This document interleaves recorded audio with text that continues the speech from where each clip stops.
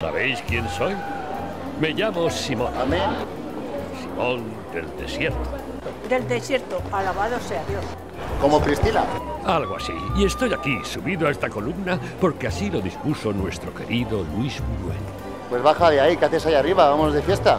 A mí el cine es lo que más me gusta para entretenerme. Y la fiesta pues también. ¿Sabéis qué pasa? Que en realidad estoy promocionando los premios Simón, que son los premios del cine aragonés que se dan el próximo 29 de marzo. Bueno, pues quedamos en paz. Alabado sea Dios.